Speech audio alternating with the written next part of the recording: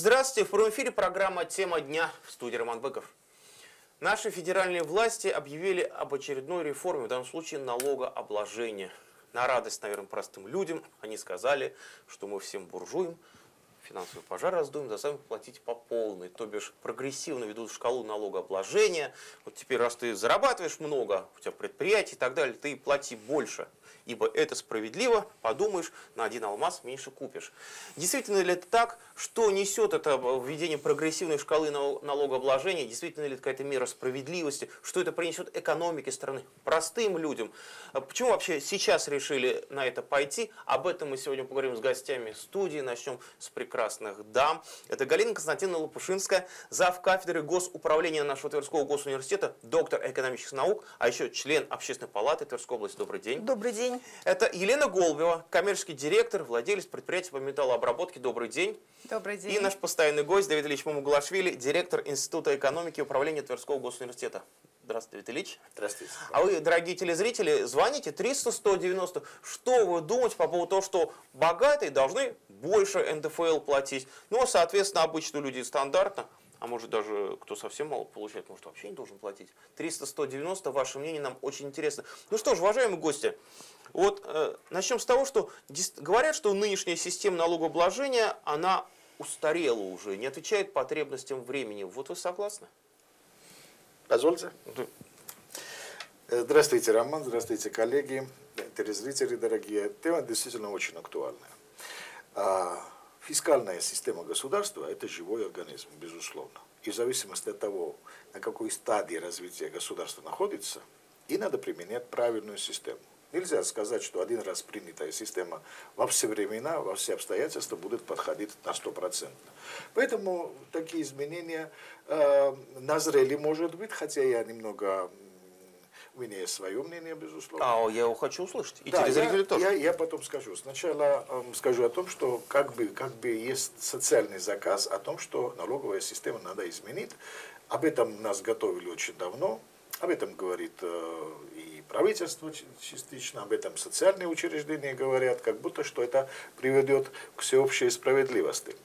На самом деле, если меня спросить, то я с удовольствием отвечу, что э, единая система налогообложения равная 13%, это было, был очень сильный шаг, это был плюсом.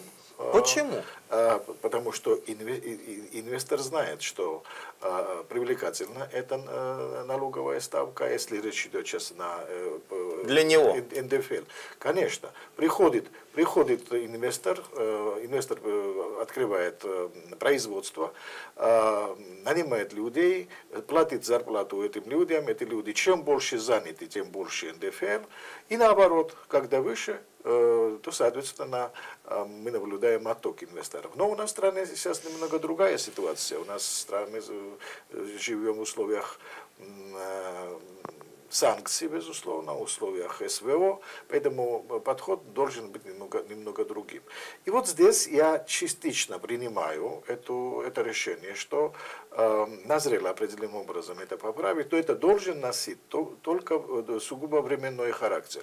После того, как, надеюсь, мы опять э, э, сможем э, закончить все это благополучно, восстановим мировые связи в бизнесе, потому что какая страна сейчас может быть без мировых связей, как в промышленности, в бизнесе, в технологиях, в образовании, в культуре, это невозможно. Тогда надо будет пересмотреть заново, чтобы э, применять именно ту налоговую систему, которая будет э, подходить именно для того времени. Но сейчас мы э, находимся в этой ситуации, должны решать в этой ситуации вопросы. Ну и, конечно же, государству нужно больше доходов в виде налогов для того, чтобы достичь определенных целей. Поэтому я говорю, частично это именно в этот временной период и в той обстановке, в которой мы находимся, э, являются оправданными. Но опять-таки говорю, что это должен носить именно временной характер, пока не изменится ситуация во внешней среде. Галина А я не согласна с Давидом Ильичем, но я рассуждаю э, с несколько других позиций. Я рассуждаю, например, с позиции госрегулирования. И с удовольствием говорю о том, что э, во всей мировой практике, ну и, кстати, и в Советском Союзе, и в Российской Федерации существовала прогрессивная шкала налогообложения. Существует она в мировой практике не просто так. Это так называемые встроенные стабилизаторы для государства. Э, что значит встроенные стабилизаторы? Это когда автоматически выравнивается налоговое бремя. Доходы населения падают, снижаются э, налоги, которые это население уплачивает. Налоги населения растут, увеличивается налоговое бремя. То есть не надо, не требуется никаких дополнительных э, решений государственных принимать в этом случае. Пропорциональная система, если вы вспомните, для чего она вводилась, то есть что нам заявлялось э, при ее введении. Говорилось, что она позволит вывести доходы населения, доходы граждан из тени. На чистую воду. На чистую воду, да. И вот этот вывод на чистую воду, он предполагал, что те, кто до этого налоги не платили или уклонялись от уплаты налогов, вдруг станут их платить. Но на самом деле, вот Давид Ильич сказал правильные слова – вопросы социальной справедливости пропорциональная система в этом случае убирает полностью. Ну, когда с 15 тысяч платят э, 13%, и те же 13% платят, например, с ежемесячного дохода в 500 тысяч, это не совсем правильный подход к э, управлению Российской Федерации и ее экономикой. Почему? Да потому что мы понимаем, что в этом случае, забирая 13% у малоимущего населения, другой рукой ему надо из бюджета давать поддержку, давать дополнительную выплату. Ну, чтобы э, обеспечить ему то, что в Конституции красиво написано достойный уровень жизни. И поэтому то, что э, Российская Федерация возвращается э, к системе встроенных стабилизаторов, это вообще-то правильно, из мировой практики правильно. Но, ну смотря как возвращается.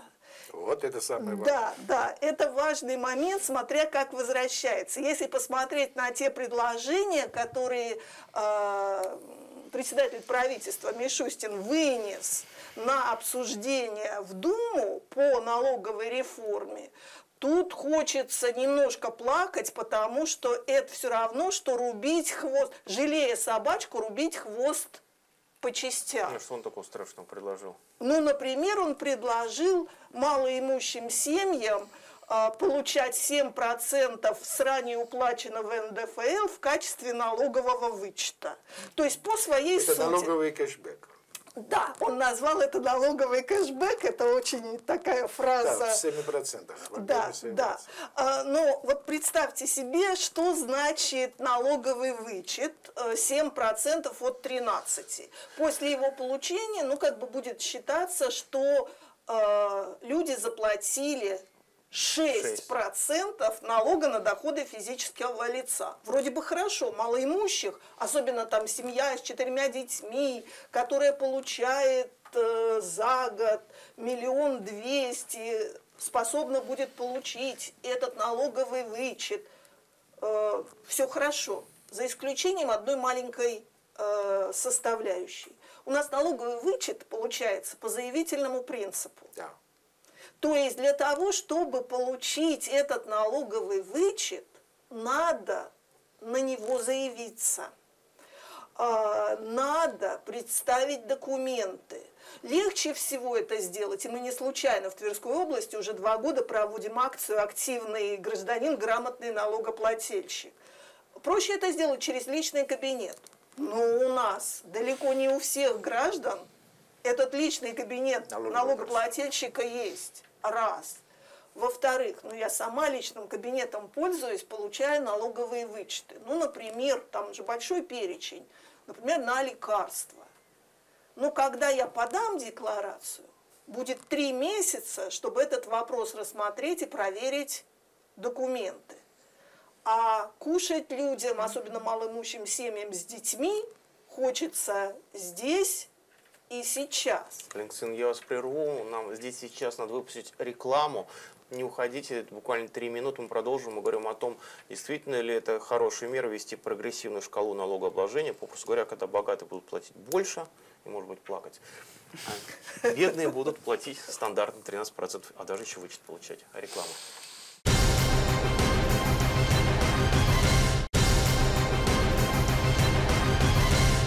Мы снова в прямом эфире. Программа «Тема дня». Говорим сегодня о перспективах введения другой системы налогообложения, попросту говоря, уплаты НДФЛ, когда богатые будут платить больше. Ну, Елена, вы как представитель бизнеса, что думает бизнес? Я вот э, с удовольствием слушала Давида Ильича и Галину Константиновну. Да, вот, по-моему, не закончила Галина да, Константиновна свою мысль. Я бы вот хотела дослушать, а потом, потом продолжить. Да, потом Прекрасно. продолжить. Да. Правильно. Э, ну, на самом деле, э, та система, которая предлагается сейчас, она не в чистом виде, угу. прогрессивная. Конечно. Она предполагает хитрые механизмы перехода на новые ставки налогов. И вот эти хитрые механизмы, они вроде бы как маскируют переход от пропорциональной системы к прогрессивной. И вроде бы как пытаются э, показать, что мнение это населения услышано о неготовности что-то менять в налоговой системе. На самом деле э, они вводят очень тяжелые в том проекте, который есть, сами механизмы изменения налоговых ставок, которые будут применяться. И вот для бизнеса-то это будет очень большой головной болью. Для их бухгалтеров это будет особая проблема в том, чтобы ввести дополнительные налоги на доходы, превышающие установленный минимум. То есть прогрессивная эта шкала будет применяться э, не просто к доходу, когда вот бизнес начислил э, личный доход работнику, и с него бухгалтерия взяла налоги и выступила налоговым агентом, всего лишь перечислив за него эти налоги. А там придется считать из доходов вычесть минимальный размер, с. Э, э, с дохода, превышающего этот минимальный размер, по другой ставке заплатить. То есть на самом деле для бизнеса вот этот проект – это реальное усложнение процессов ведения налогового учета.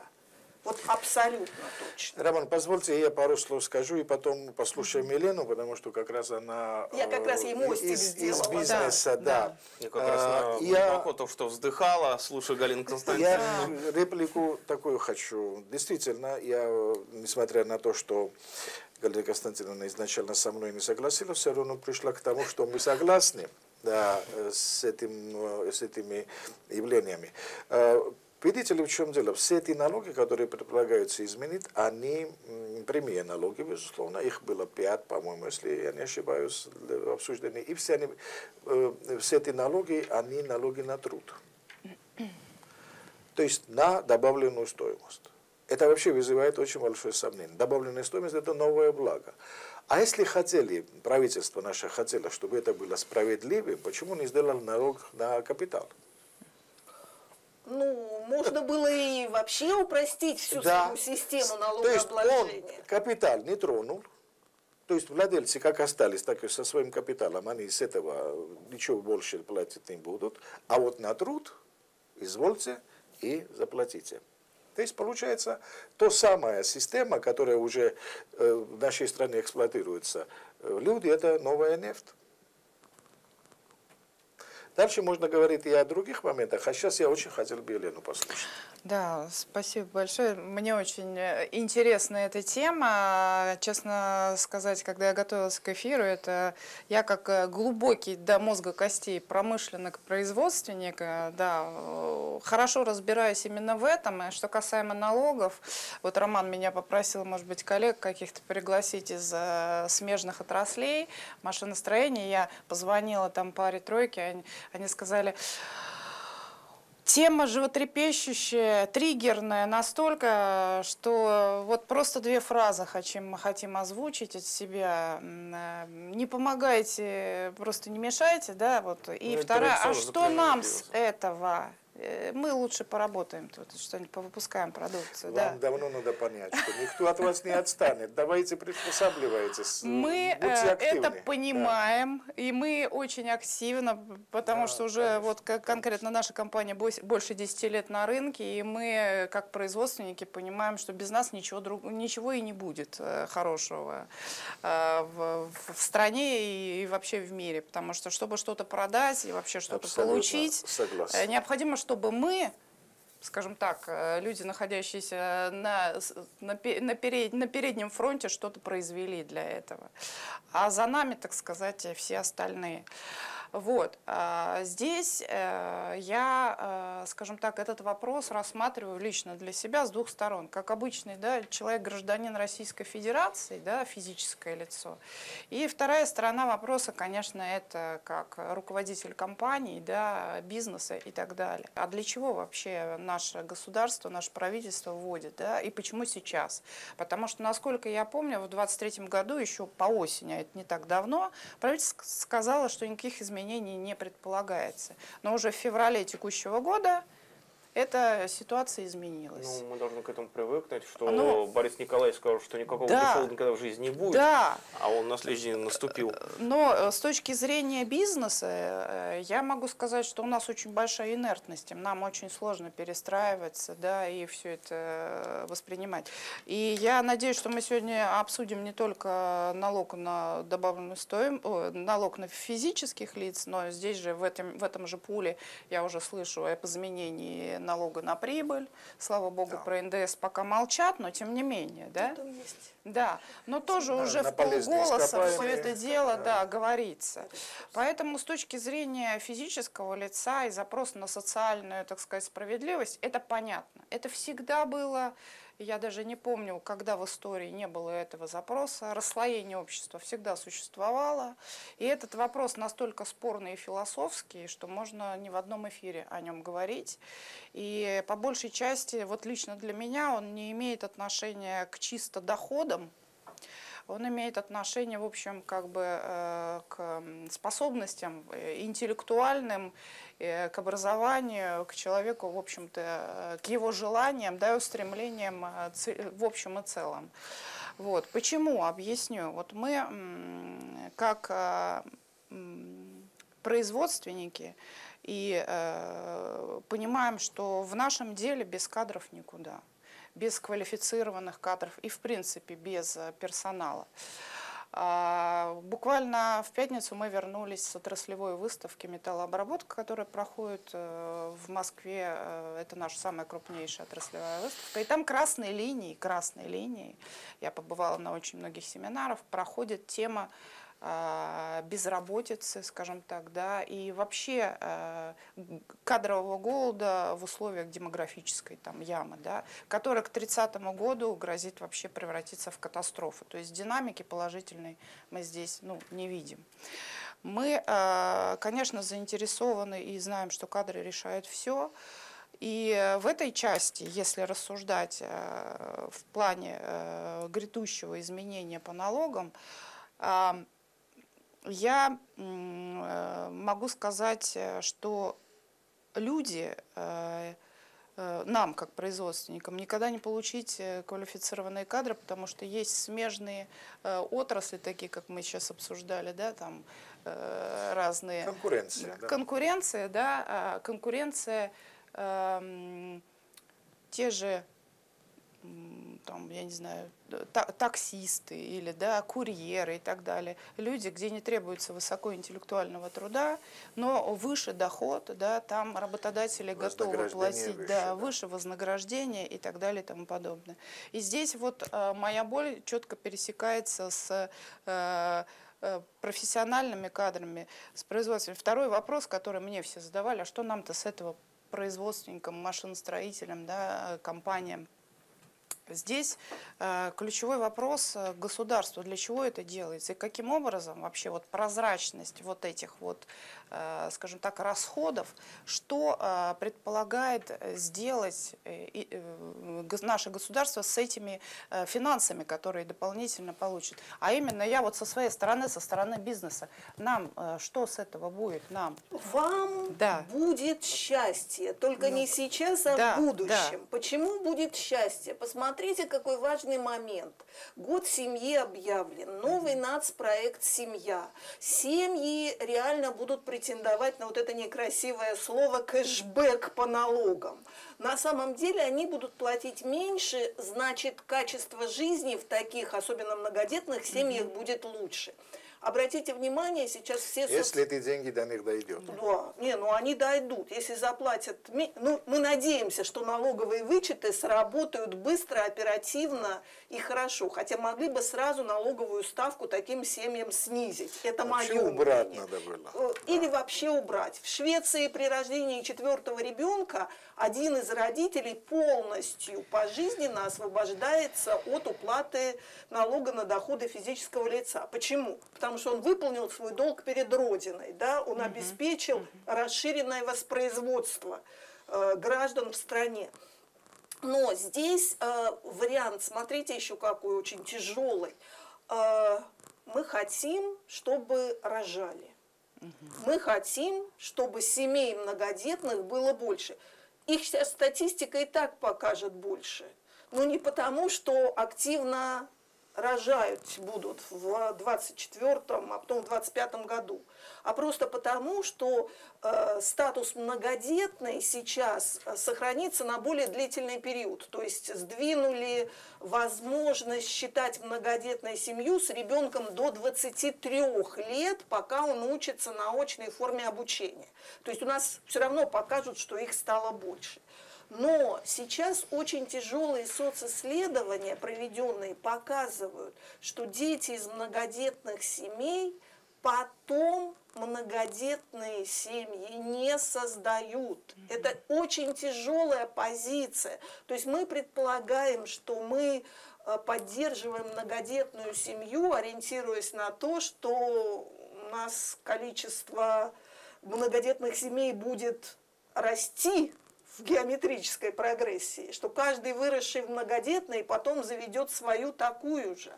А он, ребенок, проживая в семье многодетной, где с доходом тяжело, где для того, чтобы обеспечить соответствующий уровень жизни, э, папе приходится работать очень много, а мама по статистике российской, родив третьего ребенка, практически каждая вторая не выходит на рынок труда, то есть не работает, э, не рожает потом такое количество детей, чтобы в следующем поколении семья тоже была многодетной.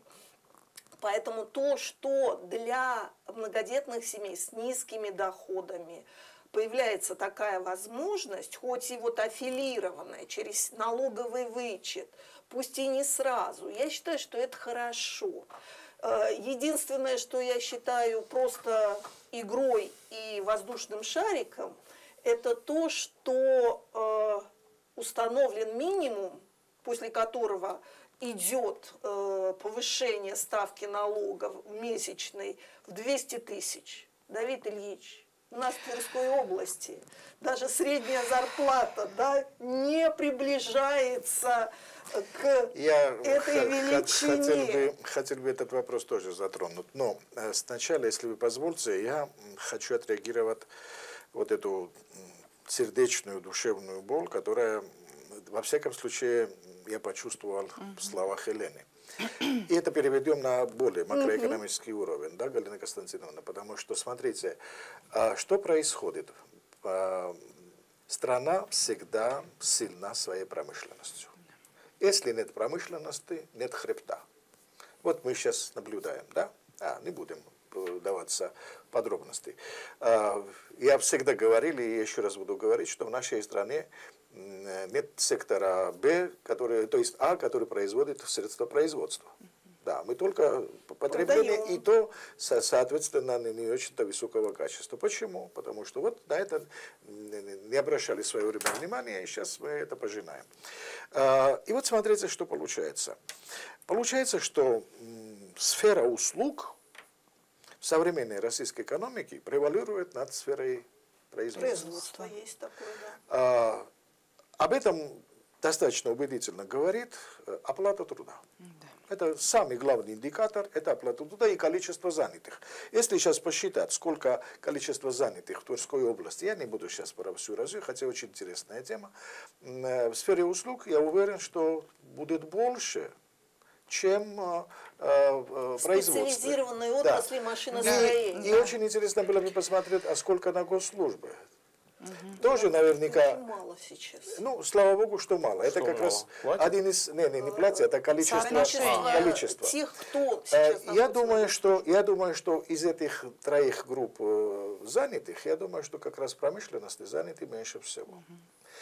И наблюдаем, самое главное, тренд, что это растет. И в нашей, на нашем рынке, в рынке, заходят такие предприятия, которые предлагают услуги. Даже этим предприятиям очень сильно поддерживают власть местная.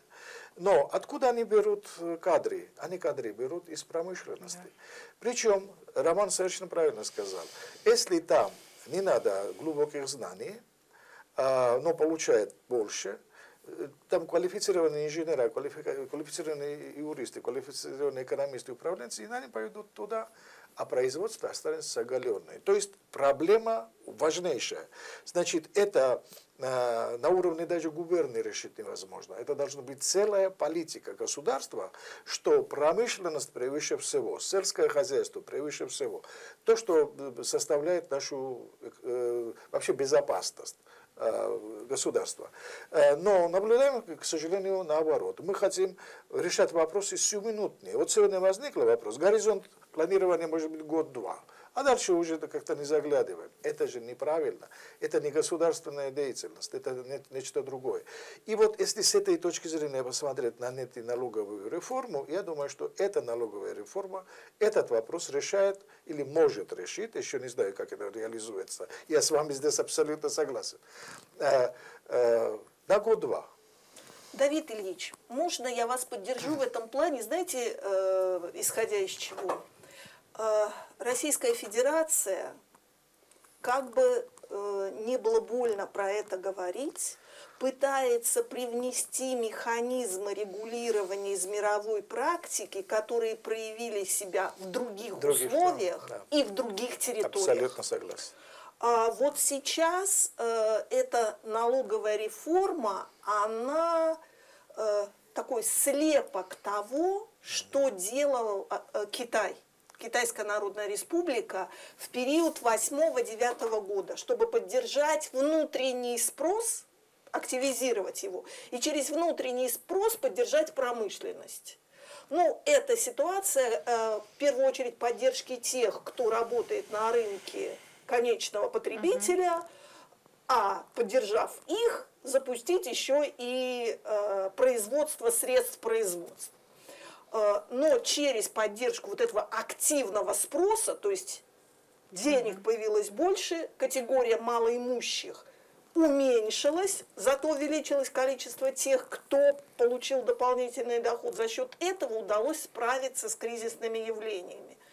Но это-то была другая ситуация, когда э, Китай за счет поддержки внутреннего спроса боролся против того, что снизился спрос внешний в период мирового финансового кризиса. То есть меньше мог продать за пределы страны, значит увеличить э, продажи внутри Потребление страны. внутреннее. Но было-то что продавать. И было кому Да. продавать. И было кому. У них население такое, что у них мировой рынок может ведь и Да, не ну нужен и в этом увеличив плане, да. доходы э, части населения, естественно, рынки ощутили вброс финансовых Да, средств. согласен. И население в этом случае ощутило поддержку. Мы пытаемся, э, ну вот еще раз повторю, пытаемся, жалея собачку, рубить ей хвост по частям. Мы фактически запускаем сложнейшие механизмы налоговых расчетов, усложнение процедур налогового учета для бизнеса только ради того, чтобы э, вот этой прогрессивной системой захватить, сейчас даже скажу сколько, 3% э, трудоспособного населения страны. Но инициаторы вот этой идеи, ссылаясь на другие зарубежные примеры, дескать, смотрите, а в Америке там до 45% платят, опять-таки, обеспеченные люди. В Англии, я слышал, там тоже типа того, а в Японии. Мы все помним вот эту историю, когда французы вводили, и оттуда богатеи побежали. И потому что тоже, ну вот, Франция вела. Ну так, паспорт, да, да, и Депардье получил наш паспорт, прописался в Мордовии, сколько я помню. Э, но тем не менее, то есть есть же примеры других стран, и ничего, живут. Коллега Константин, она продолжит, но я как раз хочу сказать, что она уже ответила на этот вопрос. Нельзя э, чужую калку вот так прямо перенести на нашу действительность. Наша действительность немного другой. Извините. А, да. Очень замечательно, да. И вопрос такой прямо э, не в бровь, а в глаз. Почему? Потому что э, на самом-то деле э, нельзя бездумно принимать механизмы, не учитывая э, российский цивилизационный э, культуры. То есть опять на свой путь. Нет, у нас да. не просто свой путь, у нас свои э, ценностные ориентиры. А вот эти ценностные ориентиры, они себя проявляют каким образом? Они в определенных э, моментах э, демотивируют население и ведут совершенно не тем действиям, на которые первоначально рассчитывали при регулировании. Ну, например, а вы помните, в Советском Союзе был очень интересный закон – Э, связанные с установлением налога на бездетность. Да, да, да, да, да. Отличный же э, закон, потому что он был мотиватором к тому, чтобы, вступив в брак, э, пара тут же хотела получить э, компенсацию государства на приобретение колец и, и снизить одному из э, супругов сразу – или обоим, если удастся, тут же э, уплачиваемый налог. Налог на бездетность, он был достаточно большой. Ну, например, в Швеции, если мы посмотрим тот же принцип налогообложения, то, э, выходя на рынок труда, э, первый раз, как бы, после сферы обучения, э, если не имеет житель детей, то его э, подоходный налог доходит до 70%.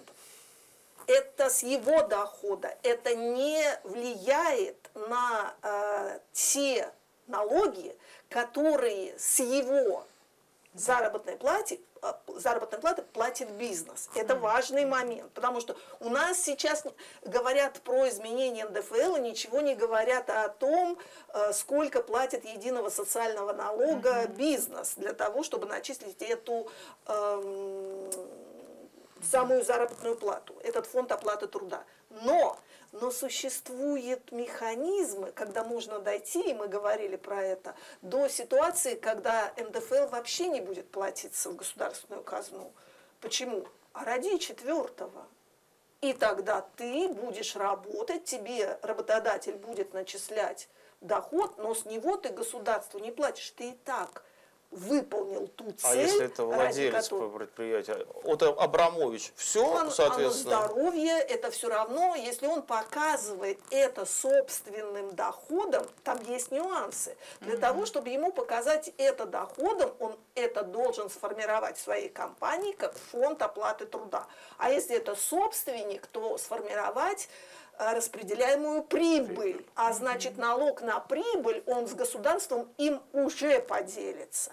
То есть э, честные способы э, получения дохода в рамках понятного финансового механизма. Почти по-бендеровски сравнительно честные способы.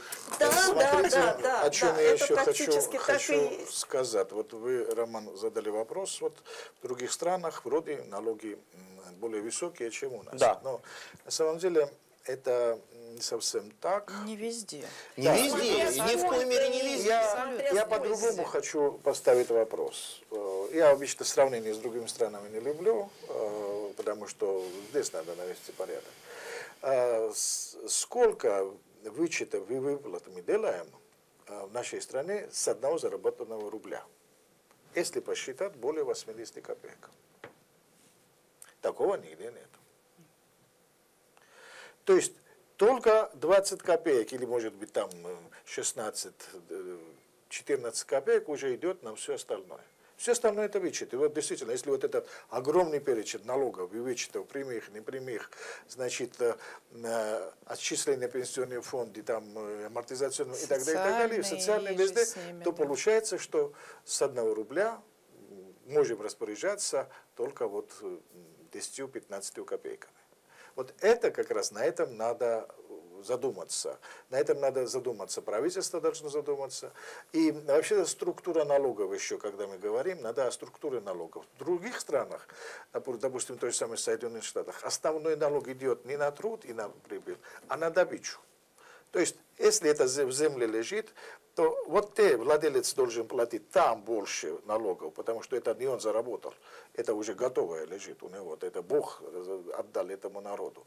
Вот. А у нас наоборот, там вообще ничего нет или копейки, а вот то, что мы уже труд, добытчика, переработчика и так далее, отсюда берется вычет и налоги. Это неправильно. Но как раз я согласен с коллегой, с Галиной Константиновной, которая как раз имеет очень большие знания и опыт в этом плане всю систему. Не вот так на коленях надо, это, это целостная, целостная работа, не на, одну, э, не на один год, не на два, э, и очень ну, предмет серьезного обсуждения. Но самое важное, с моей точки зрения, это, чтобы часто менять налоги, часто менять законы, часто менять конституции и так далее не должно быть народ должен знать, что есть закон, вот как, допустим, в Великобритании несколько законов, которые еще 500 лет назад приняты и работают. Вот. Бизнес должен быть спокоен, что завтра будут такие же условия ведения бизнеса, как сегодня. А через 10 лет тоже. Через, тогда будет серьезное доверие ко всему, и бизнес будет себя чувствовать хорошо. Если в стране бизнес чувствует себя плохо, ну, всем понятно, какое будущее. Елена, как вас Да, я соглашусь э, с коллегами.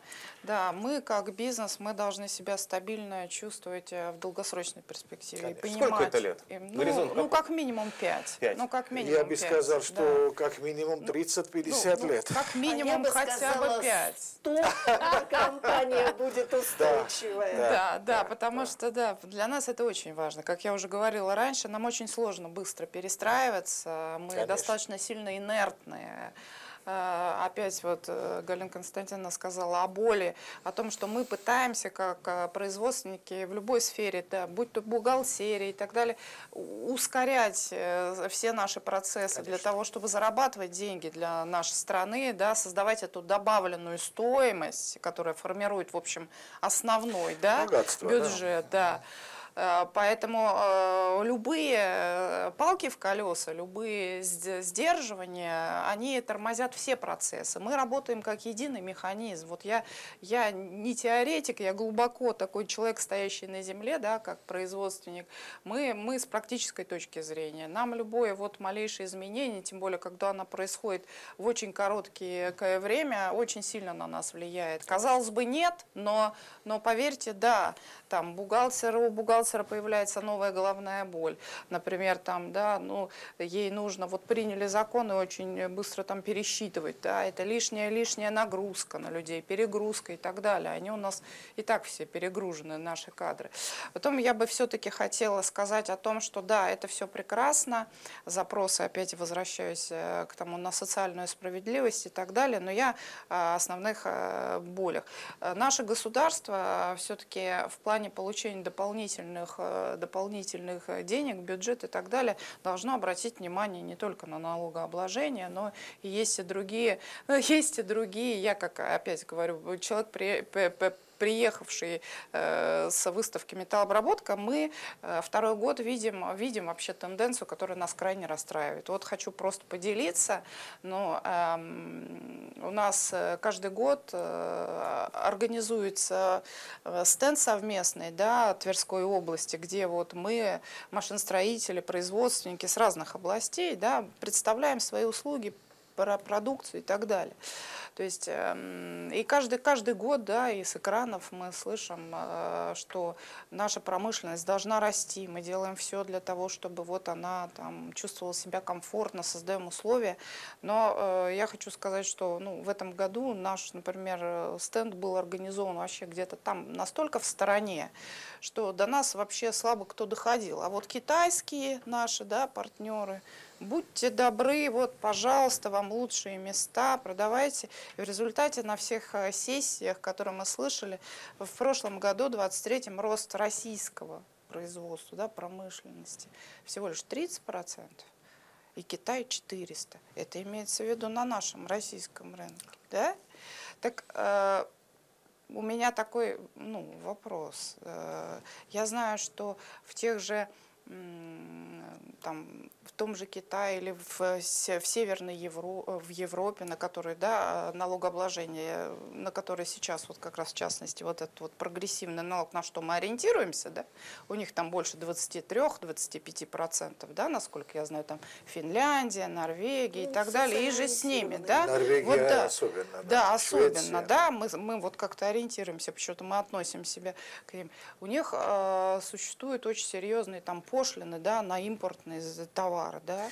Государственный и, Да, да, то есть вот пожалуйста, ну и мы, как производственники, мне, честно говоря, была крайне неприятная ситуация, с которой мы столкнулись, да, э, и то, что, то, что государство использует, может быть, механизмы, в которых они, э, им проще получить эти финансы, для нас это болевая, болевая, скажем так, точка. Еще я, я хочу сказать, вот мы затронули э, вопрос заработной платы, да, в смежных отраслях, в услугах и так далее, что они действительно выше, чем у нас, у производственников. Да, я хочу сказать, что там средняя заработная плата у нас где-то с учетом того, что мы индексируем каждый год, э, то, что мы можем заплатить нашим сотрудникам, работникам, да, а это квалифицированные кадры зачастую, это где-то от 80 там, ну, максимум до 100 тысяч рублей, но это, это прям вот нужно постараться, чтобы у нас заработать эту, эти, эти деньги.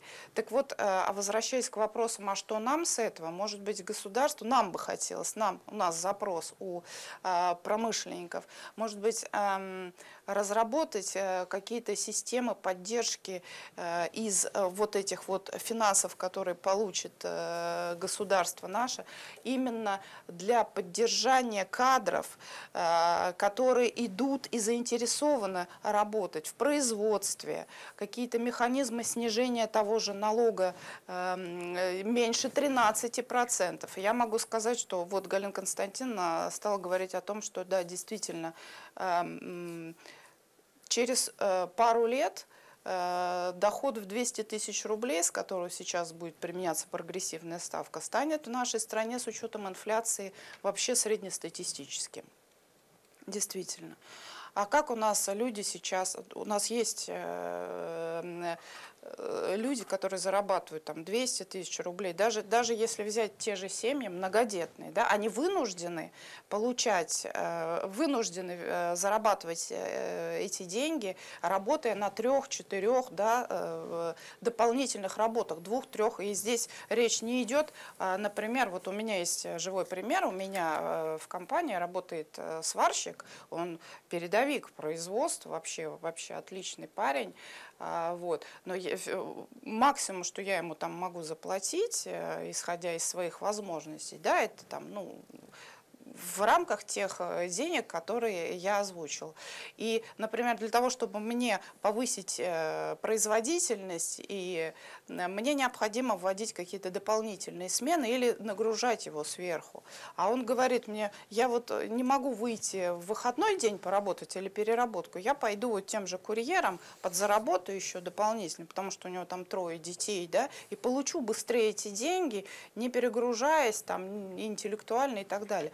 Вот у нас есть запрос такой. Я знаю, что работа в этом направлении уже ведется. Мы общались э, по этому вопросу и с э, Фондом развития предпринимательства, и да, да, промышленности, да, и э, с, с Центром «Мой бизнес», да, начина, начинается вот как бы работа, но хотелось бы больше нам этого ощущать и э, глотка свежего воздуха, что-то вот э, разработать какие-то программы для поддержки именно в рамках вот этих вот э, финансов для поддержания все-таки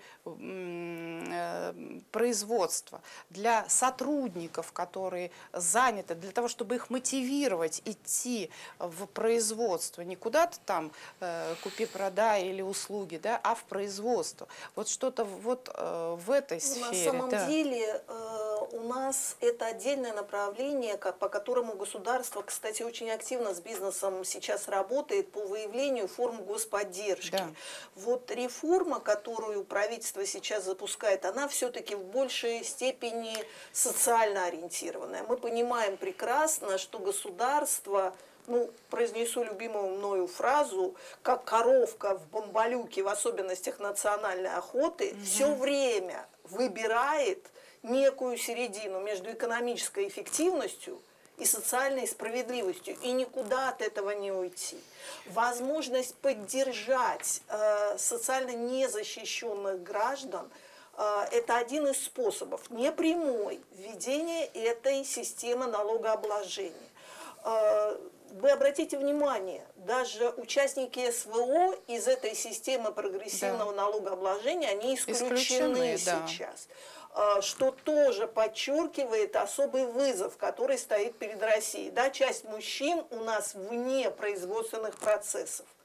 И это государство из бюджета платит им доход, на который очень часто живет семья. Но в данной ситуации, конечно же, самая большая проблема, на мой взгляд, э, того проекта налоговой реформы, которую запустили, в частности, по НДФЛ, что очень много хитрых механизмов расчета налогового бремени. Вот это, это, конечно, очень тяжело, потому что если все однозначно, четко и просто, население будет воспринимать это как господдержку. Ну, например, если реально семья с доходом годовым э, с четырьмя детьми, вот как расчет mm-hmm. был, годовой доход будет меньше миллиона двести, то в этом случае она будет платить реально подоходный налог с этого дохода всего 6%. Это хороший вариант, несомненно. Но только эти 6% надо получить. Это ситуация, опять-таки, связанная да, с налоговым вычетом. Эта ситуация связана с цифровизацией получения этого налогового вычета, а значит с государственными услугами в цифровом формате. А если цифровой формат, то все доходы, которые получает ваш сотрудник, неважно на каком количестве работ, если он получает их официально, а не в черную или там в серую, они все у него будут отражены в этом личном кабинете. То есть государство четко отследит все его доходы. И ни в коем случае нельзя будет э, в одном месте, э, получая доход, с него запл э, заплатить всего 6% с вернувшимся вычетом, а в другом дополнительно что-то получить, э, с другой там 18%. Э, но э, сама по себе э, сложность в том, что в условиях инфляции, в условиях, когда сейчас очень высока ставка рефинансирования, по которой да. бизнес может кредитоваться, все эти дополнительные издержки лягут на бизнес, да. а значит уровень цен будет расти, издержки будут расти, зарплаты номинально будут расти.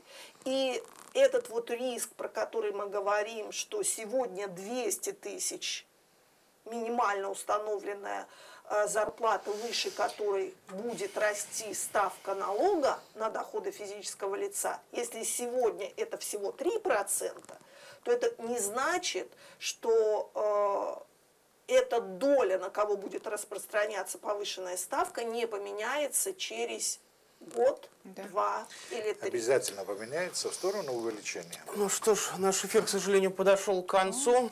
Поговорили сегодня о том, что государство наше собирается вводить прогрессивную шкалу налогообложения, то есть кто много зарабатывает, будет платить больше. Вы слышали, все неоднозначно, все не так просто.